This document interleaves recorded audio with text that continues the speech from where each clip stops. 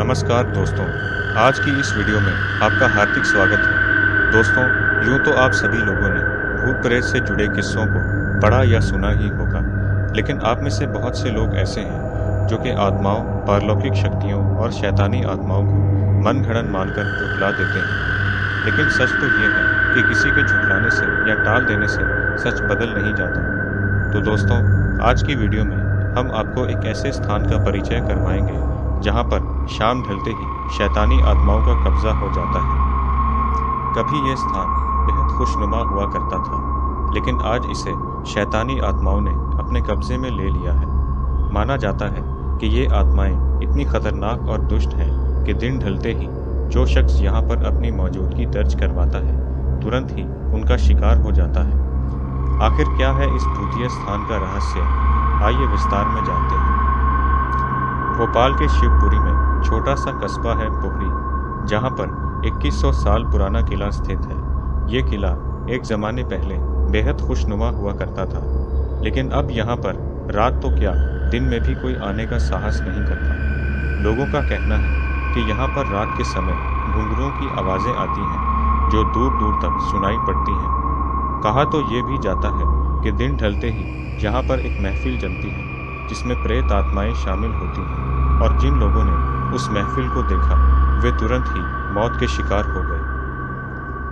दोस्तों, पहले तो इस स्थान के बारे में कोई नहीं जानता था, लेकिन जब से मीडिया वालों ने इस स्थान में हो रही पारलौकिक घटनाओं को प्रचारित किया, तभी से लोगों को लगने लगा कि इस स्थान पर कुछ न कुछ तो गड़बड़ ज़रूर है।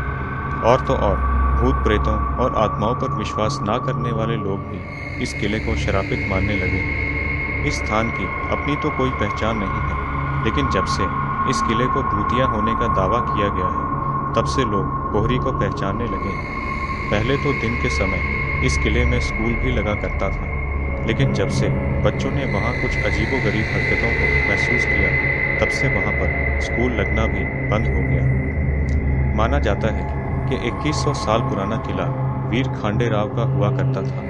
और जो महफिल यहाँ पर जमती है, वो वीर खांडे राव की सभा है। वो रात के समय अपने लोगों के साथ यहाँ पर महफिल जमाते हैं। रात को आत्माएँ इस किले को पूरी तरह से अपने कब्जे में ले लेती हैं और घनी झाड़ियों के बीच घिरे इस जंगल में अगर कोई शख्स गलती से रात को रुक गया हो तो उसका हशर अच्छा नहीं होता। स्थानीय लोगों का तो ये भी कहना है कि वीर खांडेराव की मृत्यु के बाद वहाँ पर कोई भी परिवार टिक नहीं पाया। कहा जाता है कि एक परिवार ने यहाँ पर रहने का साहस किया तो पहले ही दिन घर की महिलाएँ कुछ अजीबोगरीब हरकतें करने लगीं, जिन्हें तंत्र विद्या से ठीक करवाया गया।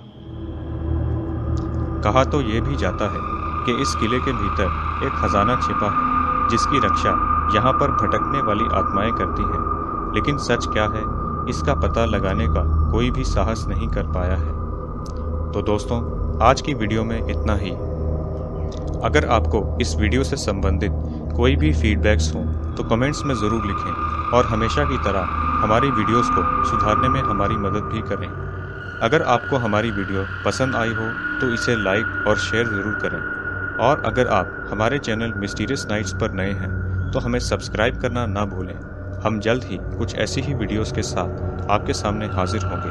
तब तक के लिए इजाज़त दीजिए।